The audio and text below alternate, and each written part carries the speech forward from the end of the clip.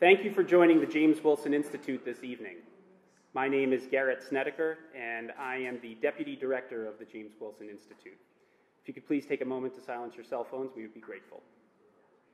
Before I introduce the program, I would like to thank our gracious host, Hillsdale College, and its Executive Vice President and Dean, Matthew Spalding. This program also would not be possible without the helpful staff of Hillsdale's Kirby Center, including Adele Ritter and Claire Bachma, both generous in their time and spirit in the preparations for this evening. Next, we gather less than a month after JWI and so many of our friends in attendance suffered a devastating loss when our devoted friend and colleague Michael Uhlmann passed. Michael was one of our JWI senior scholars, a regular presence on the faculty of our fellowship each summer for young lawyers, and a speaker at our uh, senior seminars for these uh, judges, academics, and seasoned attorneys who are joining us from out of town this weekend. Michael was a longtime friend of our founder and director, Hadley Arkes. We made available outside of the room on the uh, registration table some copies of Professor Arkes' memorial to Michael, detailing Michael's long life and career in the law, taken from Professor Arkes' book, Natural Rights and the Right to Choose. Calling him a friend and, in his words, a presently unindicted co conspirator is something I will always treasure. We miss him dearly, and we dedicate this weekend's activities to his memory. Turning to this evening's main event, I am pleased to introduce Professor William Jacobson. Professor Jacobson is clinical professor of law and director of the Securities Law Clinic at Cornell Law School. Prior to joining the Cornell Law faculty in 2007, Professor Jacobson had a highly successful civil litigation and arbitration practice in Providence, Rhode Island, concentrating in investment, employment, and business disputes in the securities industry, including many high profile cases reported in leading newspapers and magazines. Professor Jacobson has argued cases in numerous federal and state courts, including the Courts of Appeals of the First, Fifth, and Sixth Circuits, and the Rhode Island Supreme Court. He is a graduate of Hamilton College and Harvard Law School. In 2008, Professor Jacobson founded the Legal Insurrection website, which has become one of the most influential conservative websites, frequently quoted and linked not only in conservative media, but also mainstream media. Professor Jacobson frequently appears as a guest on radio and television, including recent appearances on the Tucker Carlson and Shannon Bream shows. Professor Jacobson lectures on campuses and before community groups on issues related to free speech and how the call out and cancel cultures have moved from campus to the broader culture. In March 2019, Professor Jacobson launched the Legal Insurrection Foundation, a nonprofit research and investigative group focused on the so called intersectional left, the crossover among various purported social justice groups that are driving both campus and non campus politics. Covering the trial of the Gibson's Bakery v. Oberlin College case was the first major project of the Legal Insurrection Foundation which was the only national media outlet to have a reporter in the courtroom every day of the seven week trial. That trial coverage earned legal insurrection tremendous praise and attention. And so it is in that vein, and I'll end on a personal note, that I first came across the work of Professor Jacobson. He penned an op ed in the Wall Street Journal on the Gibson's case in June. Reading the account of the case he provided, I was incredulous. Over breakfast that morning, when I read the op ed, I pointed out uh, Professor Jacobson's um, entry uh, to my wife, Megan. Her eyes lit up. William Jacobson? That was my securities clinic professor at Cornell. And so it was at that point I, and later Professor Arkes, knew we would have to bring Professor Jacobson in with us. So it is an added special treat to have my wife here tonight rekindling an old connection with her former professor. Will everyone please join me in welcoming Professor William Jacobson?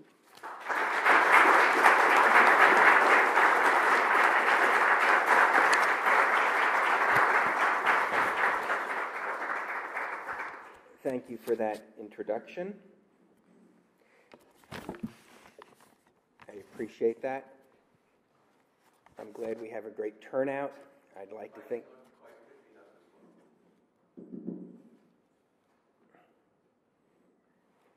Hopefully it picks up better now. No?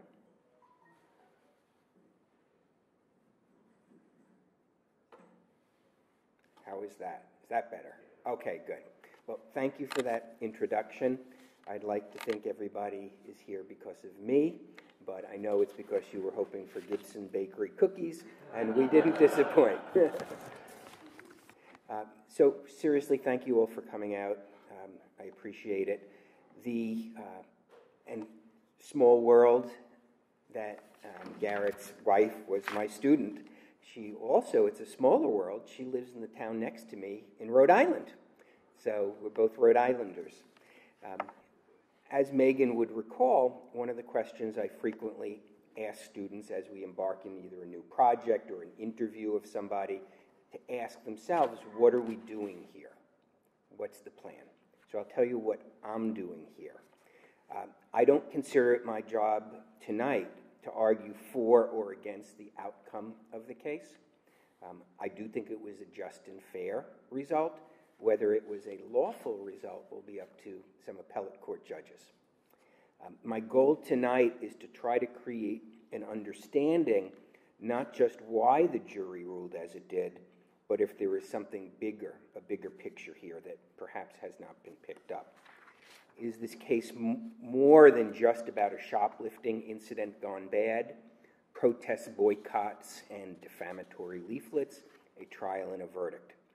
My conclusion is that if you want to understand what happened in this trial, in this case, you have to understand the history of identity politics and social justice warfare at Oberlin College and the administration's historic, historical reaction to that and participation in that. The shoplifting and the campus reaction did not take place in a vacuum. Oberlin students, faculty, and administrators reacted the way they did in a context of identity politics, which presumed that a local white business owner stopping a black student for shoplifting was racial profiling. But throughout this, whether it's the incident, the protests, or the case, Oberlin College's history of identity politics and social justice warfare was the elephant in the room, including at trial, where it became a big issue and was argued by the plaintiffs to be one of the motivations for the administration acting the way that it did. It was the college's inability or unwillingness to speak truth to student power that would end up being the focal point of the trial and the focal point of the closing statements by the plaintiff's lawyers. One thing that's interesting here in this context is that Oberlin College sought a change of venue to move the case out of its home county. Think about that. They did not believe they could get a fair trial in their home county. Um, the plaintiffs made the case, or tried to make the case, that the Oberlin College administration became enablers and participants in the actions that the students did. That enabling and participation legally ran head into standard principles of corporate liability for the actions of corporate officers and employees. And the question would be whether this case is somewhat unique in that the administration of the college, the senior officers, were argued to be not just officers of the college, but the actual perpetrators and participants in the events. Um, there were a number of things that came out during the trial that focused on that issue of participation. One was in an internal email by the Dean of Students, which talked about supporting the students in their protests. And there was a lot of trial testimony and a lot of arguing in front of the jury. What does support mean? Does support mean support or does it mean something else? There also was a text message that came out and was featured very prominently at the trial. And it was a text mes- message some months after the events when a professor uh, emeritus at the college wrote an op ed criticizing the administration. Uh, and I can see some people smiling. You may know what's coming. Uh, I'll use abbreviations. And basically, the dean of students responded to somebody that if she didn't want this to get behind the college, she'd say, I'd unleash the students on him. And that concept of supporting, unleashing the students, the ability to control the students would become very uh, important and would hover over it. And I'll get into some more of the evidence about that. So, why did I focus on this? That's the question. Some people think I'm obsessed with Oberlin. I'm really not. It's just from a website point of view, historically has presented a lot of low hanging news fruit um, for us to cover. and so it's easy. Um, my first, but some of that low hanging fruit is actually, uh, I think, bears directly. The first major Oberlin College event that I covered, at least that I have a record of covering, was what I've called the Great Racism Hoax of 2013. In February and early March 2013, uh, openly racist, anti Semitic, homophobic, a lot of other things, posters were put around campus, flyers. The campus erupted, the classes were canceled so they could have community meetings. There were sightings of somebody, it was such a frenzy that a student reported seeing someone walking at night in a Klan robe. Um, the best evidence is that it was a student who had wrapped herself in a blanket to protect herself from the cold who was walking at night. But that was the atmosphere on campus. People were seeing things that probably were not there. Um, but something that struck me about it was not just the leaflets and the posters put around campus, it was the administrative reaction to that. And I would follow this story for almost a year. And one thing that was curious is that soon after it happened, the, there were reports attributable to the Oberlin Town Police that two students had been identified, but there was some doubt as to their motivations. And that struck me as well, what do you mean, doubt as to their motivations? Look at the posters. Um, and then the administration at the college was being very coy about it. And I reached out to their spokesperson multiple times. And when asked directly whether there was a possibility that this was a hoax, that it was somebody doing it for a reason other than because they're racist, um, the administration said they can't speak to the motive behind the, the writings, but they knew who the students were. They refused to confirm that the acts were motivated by racism, not a hoax. Uh, and I asked them that directly, uh, repeatedly. And um, then it was reported several weeks later, in early May, that the two students were two white male students. But again, they would not comment on who they were or what their motivations were or whether this was, in fact, a hoax. Throughout this time period, with the encouragement of the university, of the college administration, um, in order to focus the students, there were workshops held around campus to come up with proposals, working groups, on how to fight racism on campus as a result of what had happened in late February and early March. And those workshops and those working groups um, did bear fruition. And there were um, many, many proposals that they made that I'll go into that were ultimately accepted. But then in August, something interesting happened. It was discovered by the Daily Caller that the two students had done this not because they were racist, but because they wanted to start a conversation on campus. One of them was a white liberal student, and that was when the Daily Caller got him on the phone, that was his explanation. I wanted us to talk about racism on campus. And based on the police records that I obtained and other media obtained, it was very clear that the college administration knew about this all the way back to February, but they never told the campus, and they allowed these working groups to come up with proposals as to how to change the campus, knowing that it was a hoax. It was a hoax, not in the sense, I mean, the posters were what they were, but there's a big difference if the president of the college had come out and said, hold on, this was somebody trying to spark a conversation not a hidden Klansman on campus, not somebody saying this, we still condemn it, it shouldn't have been done, but the motivation would make a difference. And this was something that the administration clearly knew and clearly uh, enabled. Uh, so it never informed the student body or the media that was covering it. So you had a narrative created about racism on campus. You had working groups created to come up with proposals and those proposals were largely accepted. The proposals had to deal with reorientation of incoming freshmen and faculty.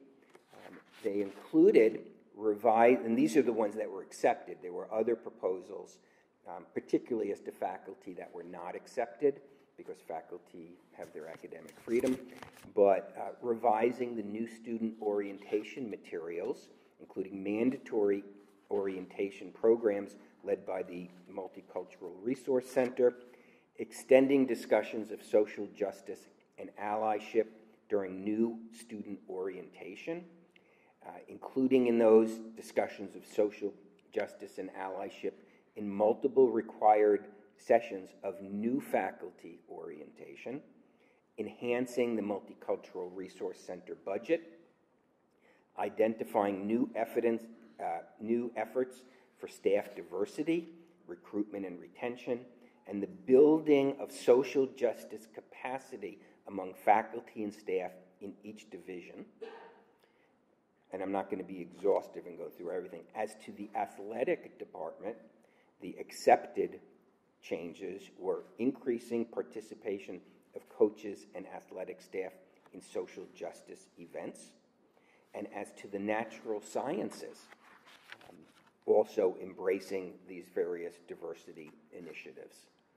So, what you had here play out was a hoax that the administration knew was a hoax, but, allow, but redirected the anger from the administration into workshops as to how to change things on campus, knowing that the premise was faulty, what had sparked it.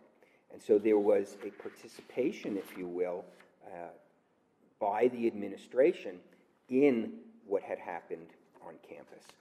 Uh, events continued to percolate at Oberlin. There was a fairly famous 14 page list of demands signed by a variety of groups on campus, presented to the administration. It's a document that we obtained um, first, and it is the number one viewed document we have on Scribd. I think it's approaching 200,000 views.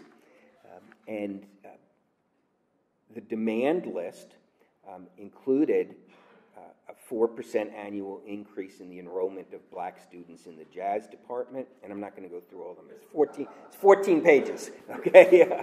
um, that all black international students who are unable to return to their home countries be provided with free housing during break, um, financial aid workshops, uh, structural changes in institutional graduation requirements, and that Western, that mandatory requirements of Western classical centered courses must be eliminated, or if not, then all students must also take an equivalent discourse in the African diaspora.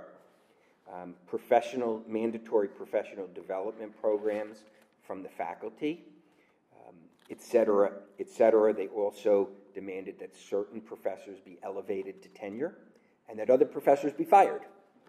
Um, the good news is that the president did not accept the 14 page list. The bad news is that rather than saying to the students, essentially, you have no idea what you're talking about, this is ridiculous, he rejected on the grounds that they had simply presented him with a demand list and had not worked in a cooperative fashion. Of course, he did say, as to faculty, we can't hire and fire people, like you say. Um, so he say, um, I will not respond to any document that explicitly rejects the notion of collaborative engagement. So the fact that these were demands was the focus of the rejection, not the substance of the demands. Um, many of the demands contravene principles of shared governance, that would have to do with faculty, uh, and also included personal attacks on faculty and staff members. So it was a fairly muted response. The good news was the, none of them were rejected. The bad news was it was something of a capitulation because the president missed an opportunity to explain more, in more detail why you know, we can't have racial hiring quotas. We can't do a lot of these things. They're actually illegal. Um, and so uh, that was missed. It. There were other high profile incidents at Oberlin, um, a lot of them centered around food. Okay? and food and cultural appropriation issues. Uh, talk about first world problems, okay? Uh, there was the Vietnamese sandwich that was apparently had improper ingredients. I don't know how to pronounce it. I'm not going to try because I don't want to be accused of cultural misappropriation. Um, there was a very bizarre, that's all I can call it, very bizarre demand um, from the Black Student Union who protested that the Africana House dining hall did not regularly serve fried chicken and actually had protests over this. Um, then there was the infamous General so Tso's chicken, um, which I don't claim to be a you know connoisseur of these things, but I don't think is actually an Asian dish. I believe it's an Americanized version of what somebody thinks is an Asian dish, but nonetheless, uh, and I'll quote you. Um, Instead of deep fried chicken with ginger garlic soy sauce, sauce, the chicken was steamed with a substitute sauce. Now, you would think the administration would tell them to go pound sand, okay? But no, actually, the director of dining services ended up apologizing. We recently fell short in the execution of several dishes in a manner that was culturally insensitive. now you know why I cover Oberlin so much. um, but there's a serious angle to this. You have a long history of an, a weak administration which appears to be fearful of the students and reacts like it's fearful of the students and tries to redirect, when it can, student anger towards something else other than the administration. There's another thing going on here, which is a fairly shocking history of uh, shoplifting by Oberlin College students, not just at Gibson's Bakery, but throughout the town. A student, after the Gibson's Bakery incident, wrote in a student journal, student publication, um, an article called The Culture of Theft. And in it, they investigated, they spoke to a lot of students, and we, to start, we uncovered a sad truth that the majority of shoplifting in Oberlin is carried out by students. And most of the explanations they got from students was they did it because they felt like it. Uh, and the administration was aware of this shoplifting problem. I think that is very clear, the evidence of that, and chose not to do much about it. Uh, I don't want to fast forward too much, but that would become an issue in the trial because David Gibson, the person who really ran the bakery day to day, um, testified that when he went to the administration to see if it could be resolved, one of the things they demanded was that for student shoplifting, that the college administrators be called, not the police. And The college denies that. That's why you have a trial. Two people testify differently. But that became an issue. David Gibson was quoted um, in the Cleveland Plain Dealer as saying, We had, have a huge problem with shoplifting. We did an examination last year and found that more than 1,000 items had been stolen through shoplifting. We found empty boxes on the shelves and many missing items. We had to crack down on shoplifting if we are going to be able to survive as a store. So you have a number of events converging here a weak administration, student activists who are very quick to make accusations and demands regarding racism and other things, and a real problem with shoplifting in the town of Oberlin. And there were news reports about others who interviewed other store owners who just spoke about the shoplifting problem being out of control. And a student had the guts to write about it in a student journal, what he called the culture of theft at Oberlin College. But we're not done setting the scene for what happened. The shoplifting at issue took place on November 9, 2016. Who knows what day that was? Mm, that was the day after Donald Trump was elected, unless you consider him elected at 3 in the morning, in which it was the same day. But it was the day after Election Day. And as you can imagine, and I'm going to quote the student newspaper, Waves of fear and shock spread across campus Tuesday night as an unlikely reality set in. Donald Trump is going to be America's next president. More than 300 students attended an election watch party, many of whom sat in tearful silence with heads, head in hands as Trump won every crucial battleground state. As the students exited this event, um, returning home, the students exited, returning home distraught, some loudly commenting, The world is going to end tomorrow.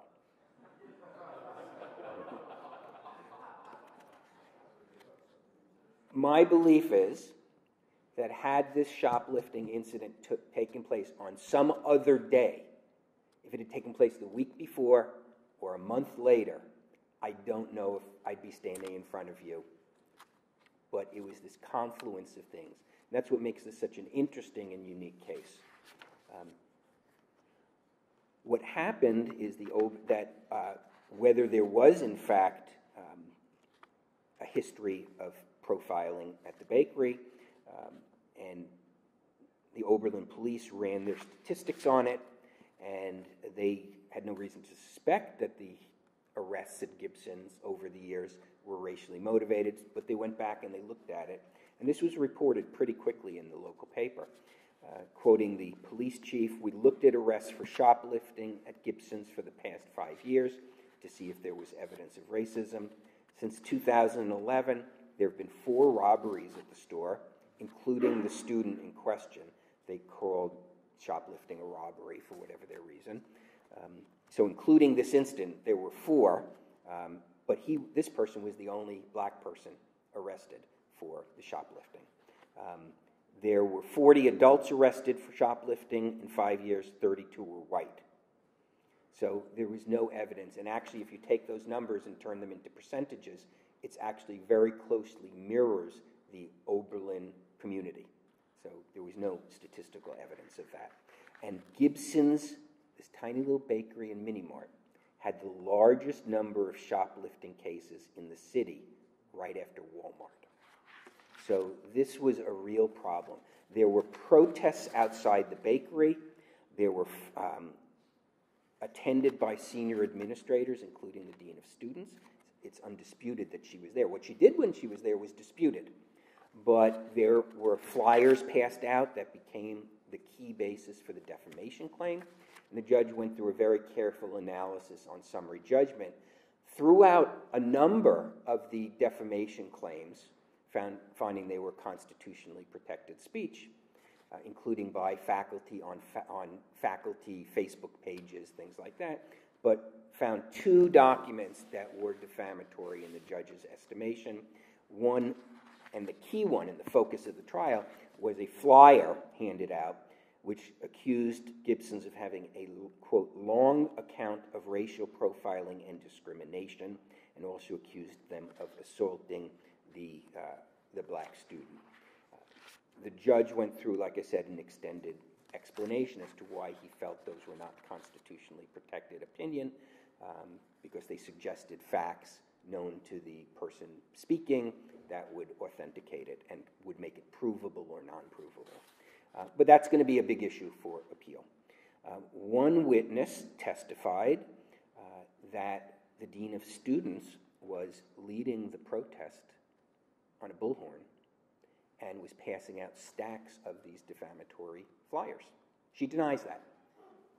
College's position has always been she only spoke for two minutes on the bullhorn and she only gave one flyer to a reporter who asked her for it. But there were multiple witnesses who testified otherwise. Jury gets to decide who to believe, who not to believe. But that was the testimony by one of the witnesses.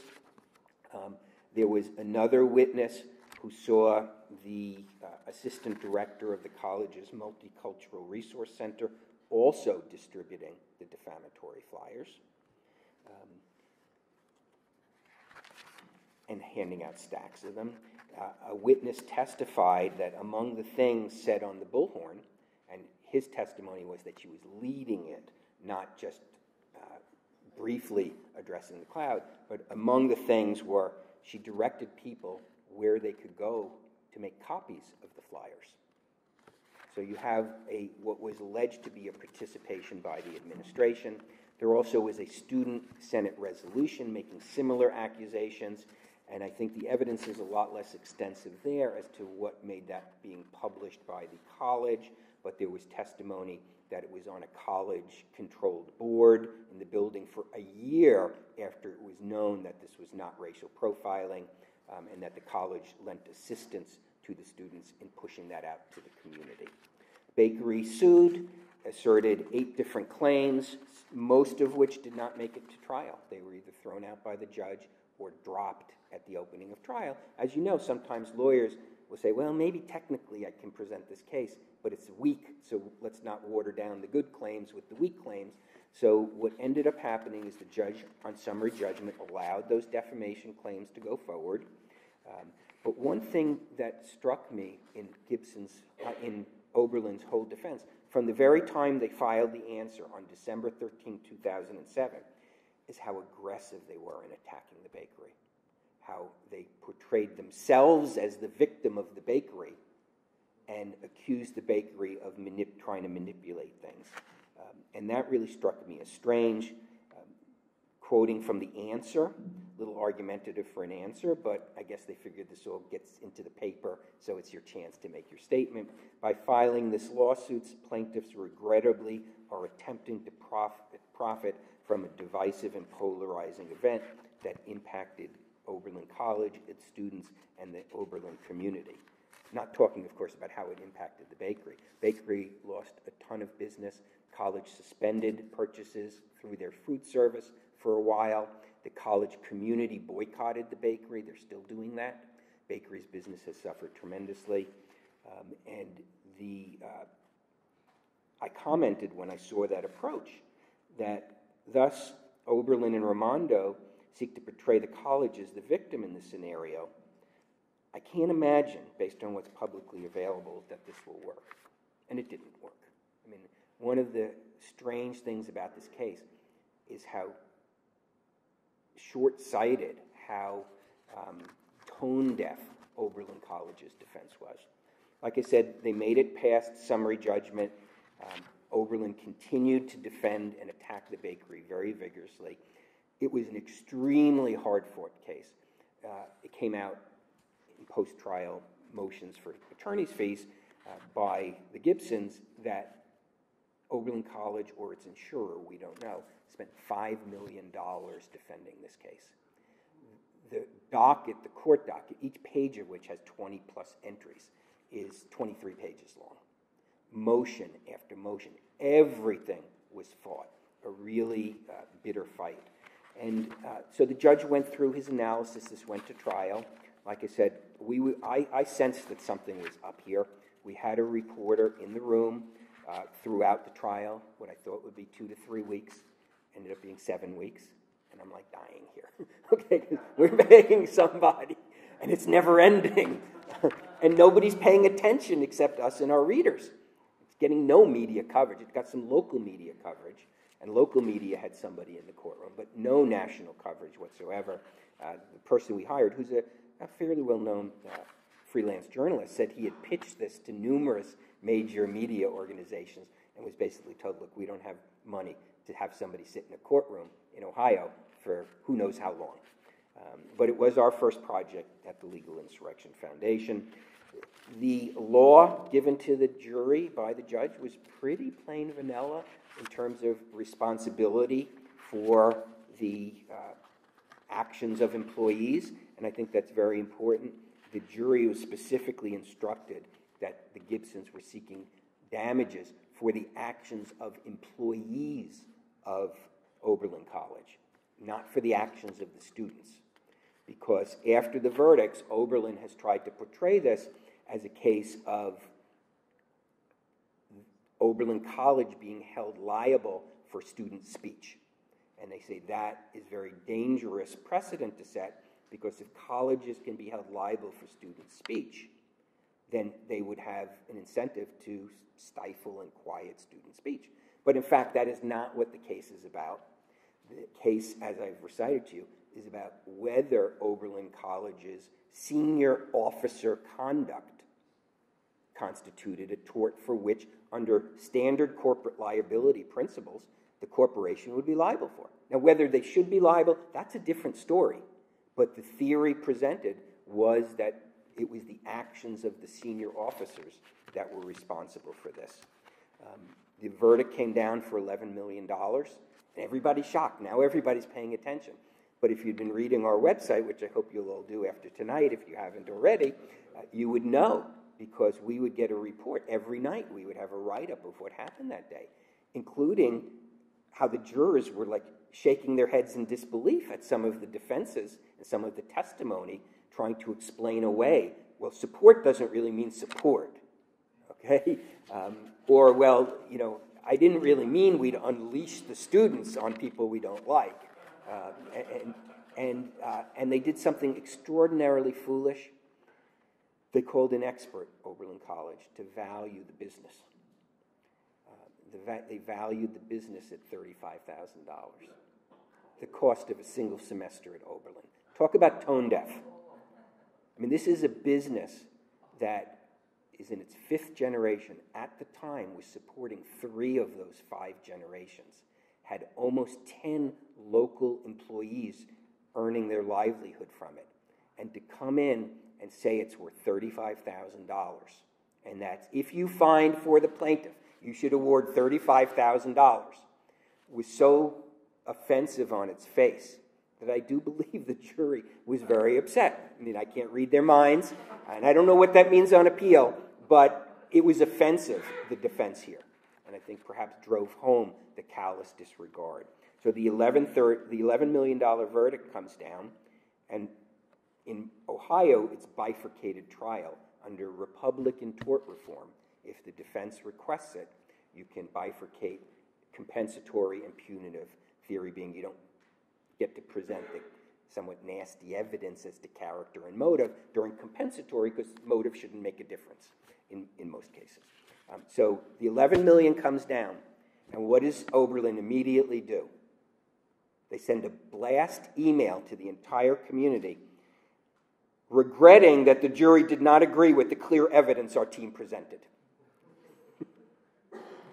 so it's talk about tone deaf. They're not getting it.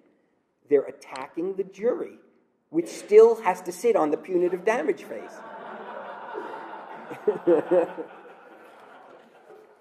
so they go to punitive damages, and the defense tried to introduce that email. The judge would not allow it. But they managed to get kind of through the back door questioning, sort of a hint at it. Um, then the $33 million verdict comes down for punitive damages. And now everybody's paying attention to it. Now it's panic time.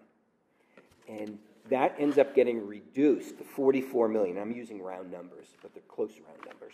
The 44 million dollars ends up getting reduced to 25 million dollars under Republican tort reform, which capped multiples of punitive damages and capped damages for non economic uh, harm, uh, essentially emotional distress. so, the, one of the ironies of this case is that ultra liberal Oberlin College availed itself of Republican tort reform. and it may end up saving them a lot of money. Uh, there were other damage theories that the defense, the plaintiffs were not allowed to portray. They wanted to uh, portray a, for defamation, a restorative. What would it cost to embark on a public relations campaign to restore the reputation? That was a big number, according to the plaintiffs $13 million. They were not allowed to present that to the jury. So I don't want anybody to get the case that this is a case where um, judge just allowed it all in. There was no, I mean, very few of the claims made actually made it to the jury. A lot of evidence was excluded that the plaintiffs wanted to present. Uh, nonetheless, the jury came up with this result. Um, and where we are now is that Gibson, um, sorry, Oberlin College is on a full blown uh, public relations campaign to portray this as a First Amendment case and to portray this as being held liable for student speech. And um, that's their story and they're sticking to it. Uh, I don't believe it's an accurate story. I think the record is clear. Whether they should have, whether this was defamation is one question. But if it was defamation, it was defamation by the dean of students, the senior vice president of the corporation, for which they were held liable, um, not by the students. Um, they've never sued the students. Makes sense. You're going to chase 19 year olds who probably have no money. So even if they had technically claims against them, it's just not something you would choose to do. Um, where we are now is that Oberlin College has hired additional lawyers, including some First Amendment lawyers from DC, uh, who are going to pursue the appeal for them. Gibson's Bakery has counter appealed, what they called a um, contingent cross appeal, um, where they are requesting that the punitive and other damage caps be declared unconstitutional, violation of the Ohio Constitution, and they want their $44 million restored.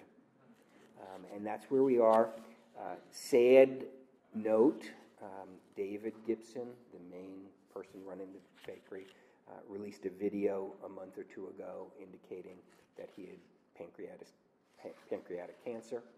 That that fact has been known to Oberlin College for a long time, and Oberlin College actually obtained an order that I didn't know about, prohibiting them from disclosing that during the case or publicly, um, because they felt that would might sway the jury.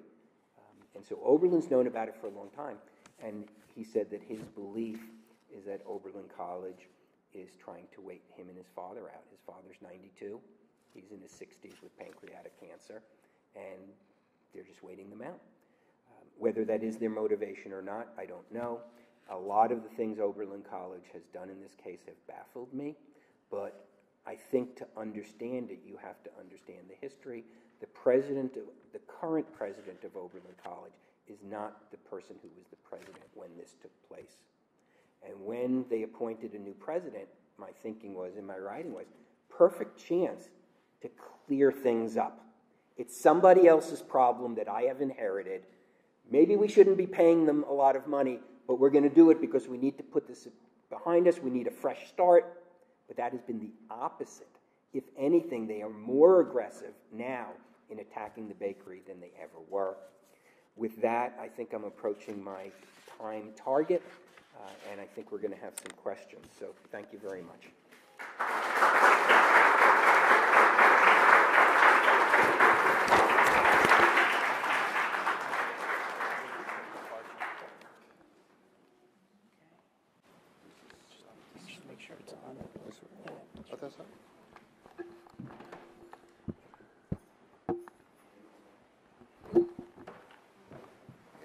Thanks so much for that. You bring back memories of Amherst.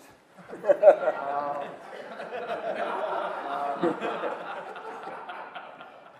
uh, the night of the day after the election, uh, the president of the college. Uh, pres- sorry, can you hear me? Oh, this is supposed to be on. Is that not working? No, no, no, you may want to move it closer to you. Oh, close. Move it up. He does have a long Is this better? Yes, All right. I think that's better. Well, the president of the college put out a letter the next morning saying the students are understandably upset about the outcome of the election. The assumption that we'll all be upset about the outcome. And of course, they should have ample time to make up work, and you'll understand if they, they feel compelled to miss classes uh, since they're overcome with the uh, effects of the, the time. But this, this record of a senior faculty just caving in, being utterly credulous and submissive. I mean, this goes back 50 years now to the, uh, remember at Amherst, the classes were called off in 69 and then 70 for Cambodia Spring. And, and Dan Robinson used to say, yeah, education is something we do here until something better comes along. and then, then, we call off classes and get to work. Because um, I, I, guess people would want to know how, how much is, is Oberlin, has, the the, um, has the, the, Gibson family been spending for, uh, for legal help? What have their bills been? They hired um, a very well known Ohio tort lawyer who has it on contingency fee. Um, I believe the law firms have been advancing the costs, which have been in the several hundreds of thousands of dollars. And the time records for the plaintiff's lawyers, because as many here will know, when you're on contingency fee, if you think you're gonna have to make a fee application, so you keep your hourly records. The, just as Oberlin College's fees were about five million dollars hourly, so were the plaintiff's lawyers. And this was a very funny thing that played out in the court, is that Oberlin College didn't want their fee records to come into evidence, certainly not the quantities, and the judge agreed with the plaintiffs, well, no, actually, you both tried the same case.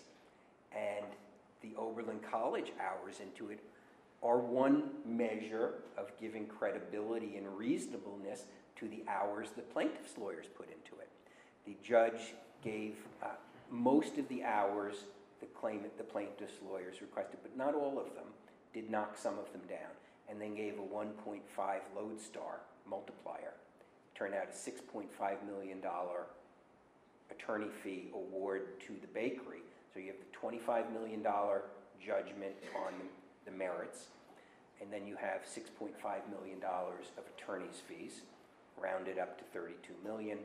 Gibson, uh, Oberlin College has posted a $36 million appeal bond to prevent execution on the judgment pending appeal. So they, they have not paid, there's no way they could pay.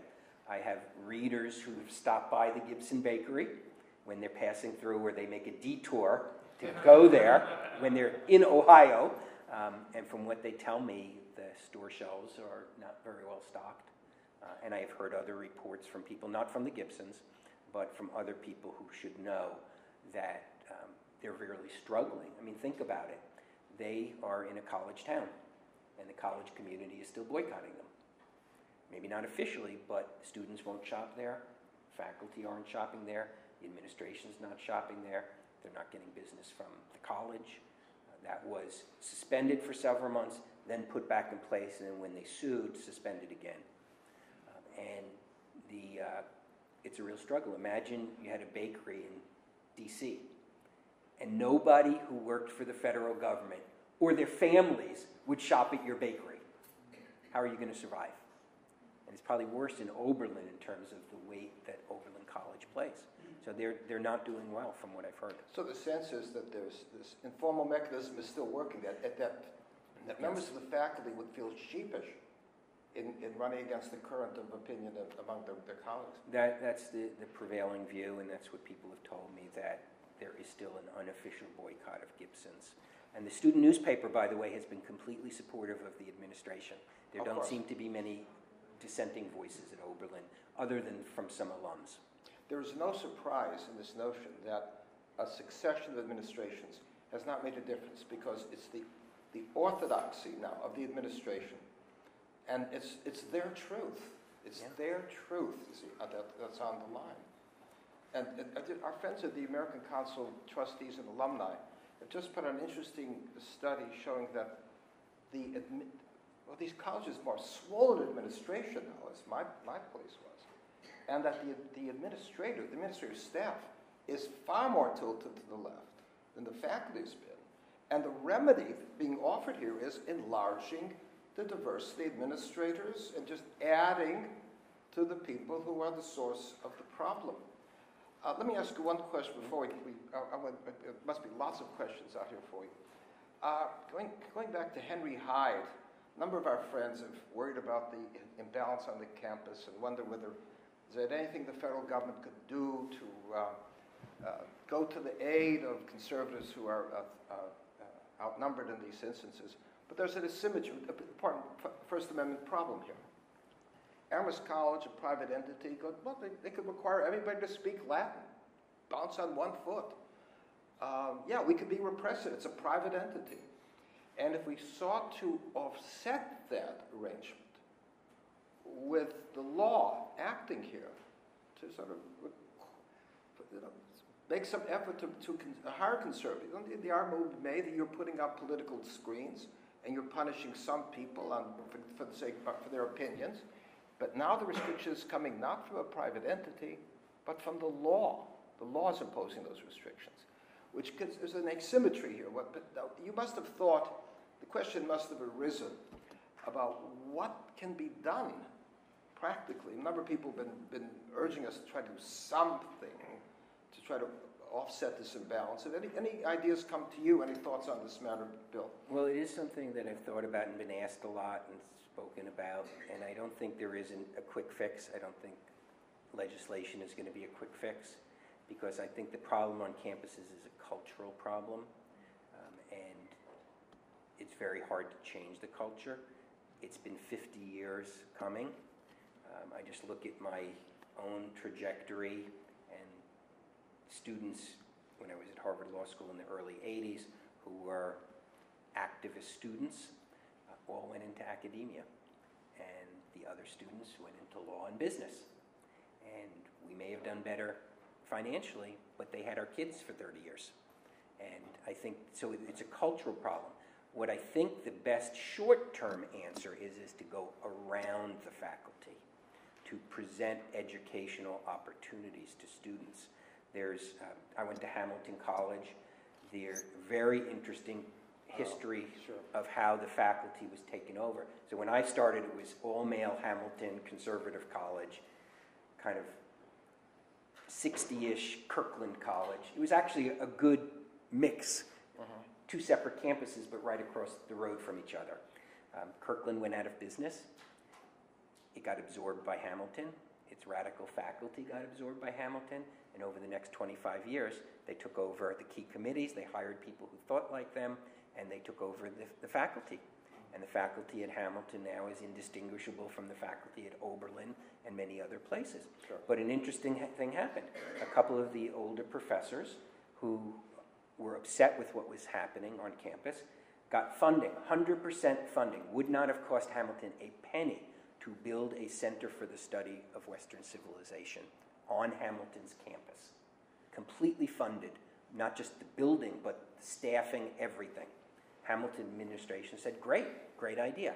The faculty revolted against it, and the administration backed down. So they would not allow a fully funded. So, what did the Alexander Hamilton um, uh, Center, I think it's called, Alexander Hamilton Institute for the Study of Western Civilization do? They located off campus. They bought a building off campus, and Hamilton's on a hill, so it's down at the bottom of the hill. They bought the old Alexander Hamilton Inn, uh, and they now run classes for students, and they have enormous participation. I think they have in any given semester 100 or 150 students participating in their classes. Not for credit, I don't think they charge anybody, but they're providing an alternative education for people. And I think there is a real hunger for students. And I've had some experiences, we don't have time tonight, when I've given lectures places. There is a real hunger on students to be taught about the foundations of Western civilization, not from the politicized left wing point of view, but from a more traditional point of view. But somebody's got to present it to them and give them those opportunities. This is what uh, Robbie George has been doing with uh, he's had the, the, the funds to fund these um, satellite programs at Penn, Berkeley, Harvard, all over. We had this same thing at Amherst. We had we could raise a lot of money from the alumni and president, but but the, the, the opposition within the fab faculty was uh, that we had these two different things. Robbie George and I began these programs at the same time. But the people at Olin thought, oh, this could succeed at Princeton because it's a porous place. You could plunk down an institute here and it doesn't threaten anyone else, but a place that is tightly controlled by its faculty represents an entirely different problem. Which is why they should have done it at that place. Exactly, exactly. We could, we could have done it, but um, perhaps we, but we go, maybe go back to that other scheme again. But let's open up to, to questions, okay? Uh, David, we have an con- Ohio contingent and people. Yeah, if you could just wait for the microphone, we'll, we'll pass it on over to you, and then, um, uh, and make sure that your question is recorded, um, as well. We have a distinguished audience for you today also. David Hi, Forte. Thanks for a great, great talk. Um, uh, You said that Oberlin's appealing on the basis of one of their claims as a First Amendment claim. Um, Who, who's representing them? Is it uh, a big firm? And two, uh, uh, following that, does the, does, has Gibson, uh, Gibson's lawyer called upon resources, First Amendment resources from the conservative side to fight this? As to Gibson's lawyers, I have no idea what they've done, if they have done that or have not done that. Certainly it would be advisable for them to do that.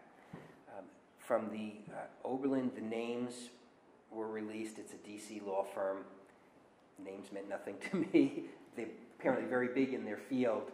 I just can't remember them, but they hired, specifically on the First Amendment issue, they hired uh, two lawyers at a Washington branch of a big national law firm. I'm just blanking out on the name of it. And they've also hired new appellate lawyers for the uh, Cleveland, for the Ohio State Court part of it. How many lawyers does it take to, to file an appeal? Apparently, the pre-existing dozen plus six to seven more. Um, but yes, so, uh, but I don't know if the Gibson's lawyers, I would, they should, they really, they really should, if they haven't. One follow-up, how much of this uh, expense on Oberlin's part is covered by their endowment and how much by insurance? That's an unknown. I know that one of the insurers filed a motion in court to intervene um, because they wanted to intervene for the purpose of submitting proposed jury interrogatories, which would help clarify whether this would be covered by Oberlin's insurance. Um, The judge rejected. Um, And there was an indication in the papers that they filed that they, there was a possibility they would be disclaiming coverage because these were intentional torts that were alleged. So they wanted very specific questions to sort that out, and they were not allowed to. So that tells me they have insurance. My guess, and it's just a guess, is that the insurance companies have been paying for the defense because typically the obligation to defend is broader than the obligation to indemnify. So my guess is that the insurance companies, but I have no way of knowing that.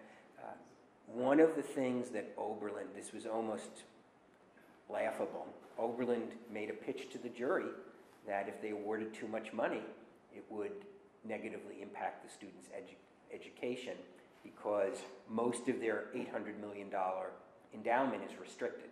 They can't use it. And they said that basically the most they could come up with is $50 million. Oh, Think about that. Uh. Okay, I'm not the most genius strategist. if you're going to tell the jury you can afford 50 million, are you surprised when they come back with 44? Bill, why, why, do, why, why do you think the judge rejected the interrogatory? I, I don't know, and there weren't specific interrogatories. This was not a general verdict. There were, were 20 pages of jury interrogatories, and I don't know whether how closely they tracked. But I, I don't, I mean, the judge gave an opinion, wrote a, a memorandum why he was rejecting it, um, but he did. He did But, not. but at that moment, the interest of the insurance company was adverse to the interest of the college, I take it. They're trying Uh, that's get- right. The- they're- the they're insurance company They're wanted- trying to get off the hook. Exactly. The insurance company was not doing this, and it was very interesting because throughout their papers they talk about the reason they need to intervene is the lack of cooperation of the college. Because you're right, they wanted jury interrogatories to prove that they didn't have to cover this. Okay. I guess that, that'll be the subject of another lawsuit. Between the insurance company the college. You know, is it, what, you know, this matter of the contrived, it, I think most of these incidents have been contrived. We had a famous incident of a cross burning at Amherst years ago. And, um, and we spent two days in self-flagellation and so on. I remember I raised the question to the president of the college, uh, what if the people who burned the crosses claimed this is a First Amendment right because some of our friends in the courts were willing to defend the freedom to burn crosses? And the president said, oh, no, that would never stand here. And then it was discovered that it was the black students themselves who had burned the crosses. And now they wanted to call off the prosecution, call off it. But no, it's, it's too late. They had already given me my answer that of course they wouldn't, uh, they wouldn't surrender it. But remember, it's, we had a gal from, I was a telling moment, a gal from Westchester, a student, in response to this contrived case, said, You see what we made them do. so powerless are they. And I thought it confirmed Herman Kahn's sense that higher education is now rendering our students imbecilic. that, that, you know, say, I was, this, this started me go, going doing some Damon Runyon pieces for the Wall Street Journal. Uh, how would this, how would somebody, uh, the dentists, those, those people on Broadway who didn't have the disadvantages of a college education react to the, Nathan Detroit, Nathan, you see what we made them do? So on. Well, you know, one, again, one of the theories presented to the jury by the plaintiffs was that the participation and that this was controlled by the college administration specifically to turn the student anger away from the college administrators and towards the bakery.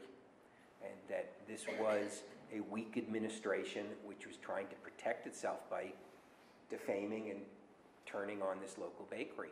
But it's also affirming the premises of uh, gender identity. That if we're confirming the fact that we're, we're, we're embedded in a racist society, so what else do you expect? We should be confirming our premises. But anyway, there are the, there are the questions out here. Yeah. Over, here. Oh, uh, over there, and the, and the, and the gentleman on the side. Yeah. Thanks. Uh, So as a graduate of Cornell Law School, I'm curious, with your work with legal insurrection, what kind of support or pushback do you get from the faculty, uh, administration, and students at the law school itself? Ooh, good question. So uh, Cornell has about 17,000 students. I think it's about 1,500 to 1,700 faculty. You can count on one hand the number of openly politically conservative professors, and I emphasize politically, because there may be professors who consider themselves economically conservative, um, philosophically conservative, but they don't put themselves out there politically. Um, and of the five, um, clearly I am the most out there. Um, so I started my website on October 12th, 2008. By the end of October, the law school was already getting demands that I be fired. That kept up for several years. Um, a lot of harassment, multiple attempts to get me fired, threats to boycott the law school if I wasn't file, fired, harassment of other faculty because I was on the faculty. How dare you have this person? Um, and the interesting thing is two interesting things. One, the deans always backed me up unequivocally and told me, do not worry about it. Dean who hired me and the current dean. The dean who hired me said to me once, You serve an invaluable function here. Whenever the alumni complain the faculty is too liberal, I get to point to you. so I have no, you know, I will say every time I go to use my swipe card to get in, I do wonder for a split second, is it going to work? but it's been working now since 2008 um, and uh, 2007, but 2008 when I started the website. And it, and it continued for quite a while. And then it's like somebody blew a dog whistle that only the harassers heard. And it pretty much stopped um, three, four years ago. Um, but the administration's always backed me up. The uh, website is the elephant in every room I walk into at the law school because everybody knows about it. A lot of people read it. No one has confronted me and criticized it on the faculty, but I hear, you know, back channel sort of things that, you know, nobody, they don't like it. Some do, some don't, and that's okay, but nobody gives me a problem, you know, to my face. The students, I've noticed something, and a few other conservative faculty around the country have said the same thing they've noticed too, purely anecdotal. But in the last couple of years, I've noticed something of backlash brewing among students to the oppressive regimes they live under on campus. And I've noticed it with regard to my website because it used to be that students would not really talk about it in front of me. Maybe at the end of the semester they'd come up to me and say, I really like your website. My, par- my, my parents told me about it. my dad's a big fan. um, but in the last couple of years, you know, I haven't quantified it. Students will talk about it openly in front of other students, things I've written there. So I've noticed it. Uh, my classes are always overbooked. by a multiple. So I've never, uh, I've never really had a problem within the law school. Um, but, or even at the university, when people complain to the university president's office, they would just, you know, they send it to the dean and say, don't worry about it. So I, I have no problems with the way I've been treated there. And all of the pressure that I'm aware of has come from off campus. And the other interesting thing is, all the people who wanted me fired and sanctioned and this and that and the other, they weren't anarchists, they weren't communists, they were mainstream liberal Democrats who felt it was their right, and many of them using their own names, not even anonymous, um, to try to interfere in my employment. What would the, uh, we have another question, but just a quickie, a quickie though. What would their objection be? Because after all, you had not taken sides. You were simply documenting the day by day unfolding of this case of a small family business that had been a venerable institution in this town. It was being, it was obviously being destroyed. What was the quote liberal concern here? Let me be clear, the, the complaints were not about the Oberlin case co- coverage. This is going back more to 2008 through 2012, 2013. Um, opposition to Obama, opposition to Obamacare, opposition to Elizabeth Warren. The most vicious attacks I got were from an Elizabeth Warren supporter who emailed every single faculty member in the building, um, one by one, not a mass email, and tailored each email to that faculty member. So the minority faculty members got emails about how racist I am, um, and the female faculty members got emails about how sexist I supposedly am. A very coordinated sort of thing. Um, and, you know, uh, and I didn't know that this was going on. And I was in a faculty meeting, and somebody I know came up to me, oh, I got a strange email about you. Uh, I said, okay, you know, send it to me. I like to know what's going on. And uh, she sends it to me, so I forwarded it to the dean. I said, uh, you know, you may, I- I'm forwarding this to you because so and so got it. I just want to give you a heads up in case you get something or somebody else gets something like this. And he emails back and says, well, actually, everyone has gotten it. And I said to some people, I said, why didn't you tell me? I'm like the only one in the whole building that doesn't know this is going on. And I believe the responses I got were good faith. They said we were embarrassed. We were embarrassed that somebody would think we're so shallow that we're going to terminate somebody because we disagree with them politically. I said, that's nice, but please tell me if these things come in. Oh, I- promised the question over there, and I see Jim wanted to get, get back in. Over here? Were Make there any uh, political leaders in Oberlin who went to bat for Gibson's? Uh, If you don't, Uh, Not that I know of. I don't think uh, this has was under the radar from the political landscape. As far as I know, no c- congressmen or politicians have been involved at all in this. It's a little bit surprising. People I've spoken to locally take the view that they probably just view this as Oberlin being Oberlin, and no surprise. So, but it has not generated. It's generated a fair amount of publicity, and I know it's generated a lot of alumni interest. And I know the school is worried about that, and they're on a campaign now to allay alumni fears about what's happening and to portray themselves as heroic defenders of student-free speech. Um, and, uh, but I don't know of any political repercussions.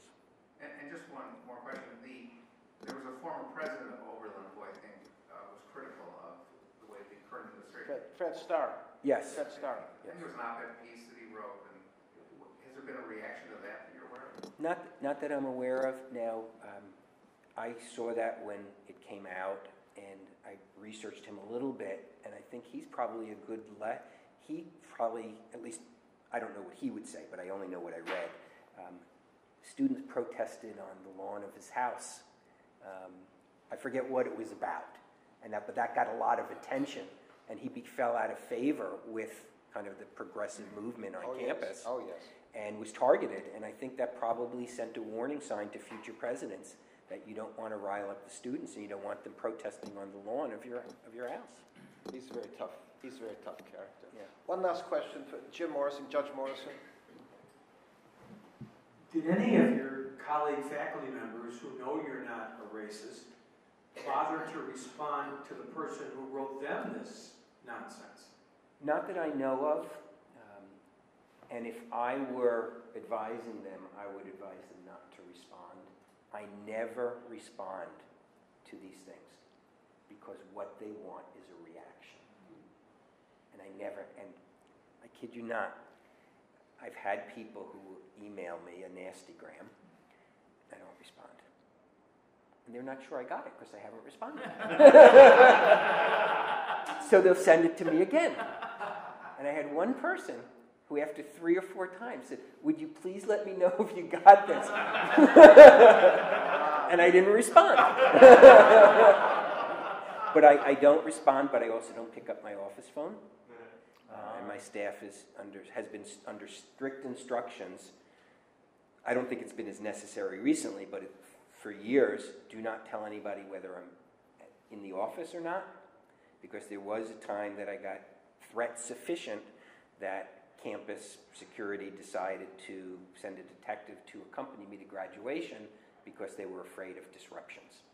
Um, so I've, you know, just the way I live. But like I said, the last three to four years have been pretty quiet. Uh, but I still maintain this: do not pick up the phone uh, unless you know who's calling. I can sing from that response from your own defense. However, faculty members who won't even tell you about this, I think, are acting like people used to say in the old days. My best friend is a black Jewish guy. I want to get all the minorities that I can. Yeah. Um, but they don't have the courage to stand up and understand that their rights are every bit as much imperiled as yours. I, I, agree, and I think they should have told me about it. And I do think part of their thinking was, and I think it was good faith, whether it was correct or not, I don't know, but I think it was in good faith, is that what this guy wants us to do is to let you know about this, and that'll put pressure on you.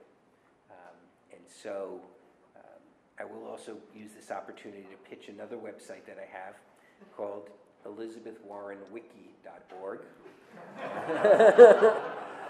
um, it is a repository of the most extensive research um, anywhere about her, including research which led to uh, recent articles by the New York Times and Washington Post about her corporate law practice, uh, including about her Native American issue. And I know this is a nonpartisan environment, uh, but it is very extensive, and I hope you will visit elizabethwarrenwiki.org. Yes, uh, this, this appeals to my prurient interest. this, uh, but actually, no, there's a resident. I, I came into Amherst in the fall of 66 with a class of 70, and there was a remnant of that class that's been going around the chat rooms, the other classes, for a couple of years trying to get me fired because of my opposition to same-sex marriage. It's been a rather vicious thing, though of course the backers of this program, my former students, are from the class of 70. Uh, but they respond, oh, just don't answer. I, I want to answer. No, they, they don't want to answer. But what comes back is that old line from my, my first leader, leader, the first Mayor Daley, who once said, I have been vilified, I've been crucified, I've even been criticized. okay. So, Bill, thanks so much. That was quite marvelous. Thank you.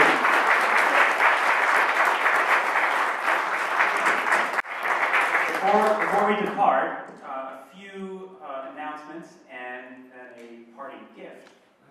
First announcement is that uh, we're extraordinarily grateful for your time and your interest in our programs at the James Wilson Institute. Um, in the next few weeks, uh, we will be starting a, uh, an end-of-the-year fundraising drive, and we, we would be grateful for any of your support as James Wilson Institute members. And after this event and in the coming weeks, um, we'll be in touch uh, with all of you as we're in touch with everyone on our mailing list about uh, supporting our work so that programs like this can continue.